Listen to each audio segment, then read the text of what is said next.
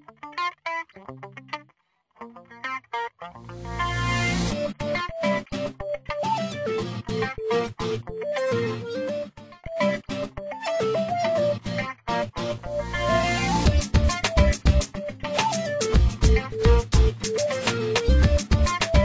Friends मेरा नाम जगविंदर है।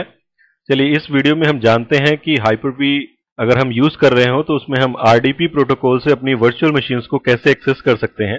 एक्चुअली इस वीडियो को बनाने का आइडिया मुझे एक मैसेज से आया, जिन्होंने मुझे एक मैसेज सेंड किया कि हम आरडीपी से कैसे वीएम्स को एक्सेस कर सकते हैं। तो चलिए इसको देखते हैं कि इसको, ये कैसे वर्क करता है। तो मैं हाइपर मैनेजर को ओपन करता हूँ।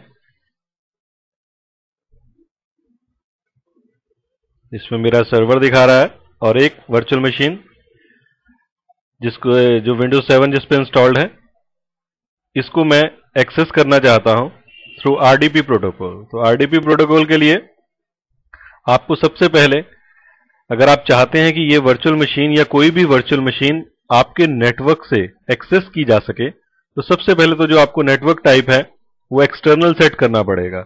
तो जैसा मैंने आपको पिछली वीडियोस में दिखाया था कि नेटवर्क टाइप कैसे हम एक्सटर्नल सेट कर सकते हैं तो वर्चुअल नेटवर्क मैनेजर में हम जाते हैं। और देखिए यहाँ पे वर्चुअल नेटवर्क एक क्रिएट हुआ हुआ है। एक तो मेरे को बता रहा है कि न्यू वर्चुअल नेटवर्क और जो न्यू वर्चुअल नेटवर्क बनाया है चलिए इसको रिमूव करके एक बार बिल्कुल शुरू से क्रिएट करते हैं। तो देखिए अभी अभी आपके सामने एक नया नेटवर्क मैं, क्रिएट करने वाला हूँ। आप पिछले वीडियोस में देख सकते हैं कि ये एक्सटर्नल इंटरनल और प्राइवेट का क्या ऑप्शंस है और ये क्यों हम यूज़ करते हैं? तो एक एक्सटर्नल नेटवर्क से मैं इसको कनेक्ट करना चाहता हूँ ताकि ये जो वर्चुअल मशीन्स हैं, वो पूरे नेटवर्क में मेरे, जो मेरा लोकल नेटवर्क है, उससे कम्युनिकेट कर सके। तो मैं एक्सटर्नल टाइप सेलेक्ट करके उसका नाम दे देता हूँ, कुछ भी नाम, जो भी आप नाम आपको अच्छा लगे। माई वर्चुअल नेटवर्क और इसको एक्सटर्नल टाइप पे सेट कर देता हूँ। इसके बाद ओके करता हूँ।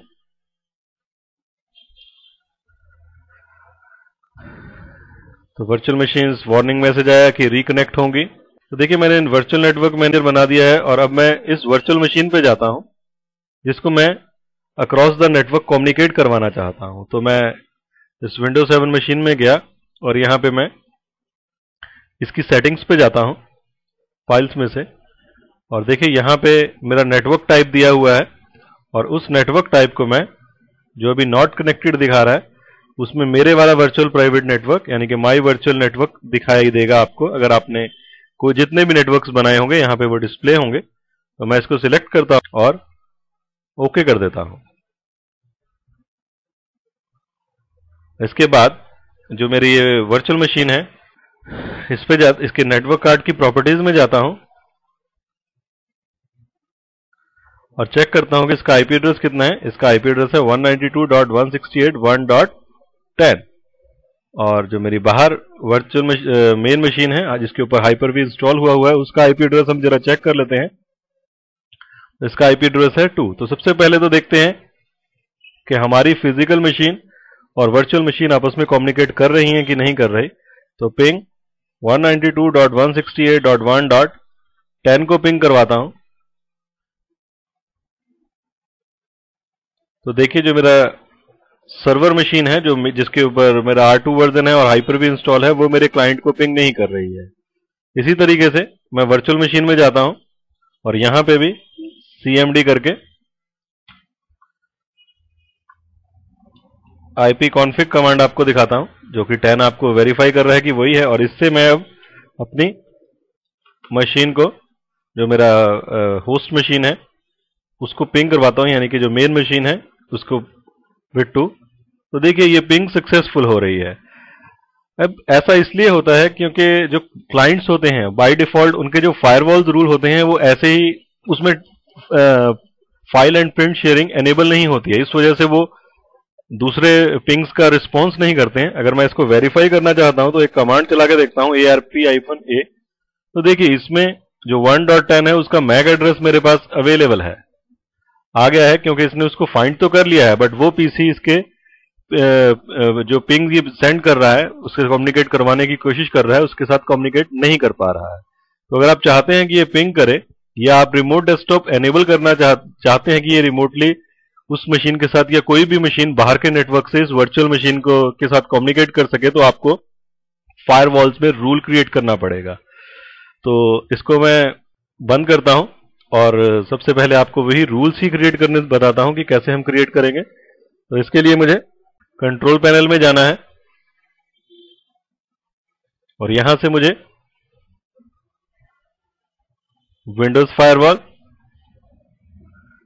तो देखिए, अगर मैं इसको ऑफ़ कर दूँगा तो ये इमीडिएटली कम्युनिकेट करने लग जाएगा, लेकिन वो एक सिक्योरिटी इशू होगा जो मुझे नहीं करना है। मैं कंप्यूटर को राइट क्लिक करता हूँ और इसकी प्रॉपर्टीज़ में चला जाता हूँ। और प्रॉपर्टीज़ में से यहाँ पे एक ऑप्शन होती है रिमोट सेटिंग्स और बाय डिफ़ॉल्ट देखिए लिखा हुआ है do not allow connection to this computer remote desktop का कनेक्शन इससे बन नहीं सकता है। अगर आप चाहते हैं कि कनेक्शन बने तो आपको ये ऑप्शन या ये ऑप्शन सिलेक्ट करनी होगी। ये पुराने रिमोट डेस्कटॉप क्लाइंट्स जैसे एक्सपी या उससे पहले वालों को सपोर्ट करती है या जिसका आरडीपी वर्जन 6.0 से कम है उनको ये सपोर्ट करती है और जो हमारे विस्टा ऑपरेटिंग सिस्टम्स हैं, उसके बाद के ऑपरेटिंग सिस्टम्स पे आप ये मोर स्केयर ऑप्शन सिलेक्ट कर सकते हैं। या पुराने टाइप के जो ऑपरेटिंग सिस्टम है, उनमें भी आप नया आरडीपी क्लाइंट इंस्टॉल कर सकते हैं। तो मैं, हमारा दोनों लेटेस्ट ऑपरेटिंग सिस्टम है तो हम इसको अलाउ कनेक्शन मोर सिक्योर वाला सिलेक्ट करते हैं। ओके कर देते हैं। अब हम जरा चेक करते हैं कि ये कनेक्शन बना रहा है कि नहीं बना रहा तो उसके लिए तो उसके लिए हम रिमोट डेस्कटॉप कनेक्शन बनाने की सोचते हैं। और उसका आईपी एड्रेस डालते हैं 192.168.1.10 तो देखिए, उसका यूज़र नेम पासवर्ड मुझसे पूछ रहा है तो मैं पासवर्ड देता हूँ उसका। यूज़र नेम है उसका टेस्ट और पासवर्ड है वन टू थ्री तो आपसे कह रहा है कि क्या आप उससे कनेक्शन बनाना चाहते हैं? तो अगर आप यस कर देंगे तो ये उस कंप्यूटर से कनेक्शन बनाने की कोशिश करेगा। तो देख लीजिए, इसने उसको रिमोटली एक्सेस कर लिया है जो हमारा विंडोज़ है विंडोज़ सेवन और इसको वेरीफाई करने के लिए एक बार हम इसको डिस्कनेक्ट करते हैं। तो देखिए जो मेरा टेस्ट कंप्यूटर है, उस पर लिखा आ रहा है lockdown remotely from king server इसलिए ये हमारा लॉग आउट हो गया है, क्योंकि साइमल्टेनियसली एक ही कनेक्शन बनता है फॉर सिक्योरिटी पर्पसेस तो इस तरह हमने देखा कि कैसे ये कनेक्शन बनता है। अब जरा थोड़ा फायरवॉल रूल्स के बारे में भी जान लें कि कौन से फायरवॉल रूल्स मेरे को एनेबल करने पड़ते हैं। मैं आपको दिखाता हूँ तो मैं कंट्रोल पैनल में जाता हूँ और सिक्योरिटी में जाके यहाँ से विंडोज़ फायरवॉल और इसमें आप एक्सेप्शन रूल्स क्रिएट कर सकते हैं। अगर आप चाहें तो तो आप, एक तो ये है फ़ाइल एंड प्रिंट शेयरिंग और एक हमारा रिमोट डेस्कटॉप कनेक्शन तो देखिए, क्योंकि इसमें रिमोट डेस्कटॉप कनेक्शन मैंने अलाउ किया हुआ है, और यहाँ पे आपके होम और पब्लिक एनवायरनमेंट यानी कि प्राइवेट और पब्लिक एनवायरनमेंट जो प्रोफाइल्स होते हैं, उनके उनके बारे में आपकी इंफॉर्मेशन होती है कि कौन कौन से प्रोफाइल्स में ये आप अलाउ करना चाहते हैं। बाय डिफ़ॉल्ट ये रिमोट डेस्कटॉप वाला ऑप्शन जो होता है डिसेबल्ड होता है। अगर आप चाहें तो आप इसको एनेबल कर सकते हैं, जैसा कि मैंने किया और आप तो इस वीडियो में हमने सीखा कि कैसे हम फ़िज़िकल मशीन से या होस्ट से गेस्ट मशीन्स में कम्युनिकेट कर सकते हैं या नेटवर्क में से मशीन्स में से नेटवर्क मशीन्स में से अपनी वर्चुअल मशीन्स को एक्सेस कर सकते हैं। तो इस वीडियो में इतना ही। Thanks for listening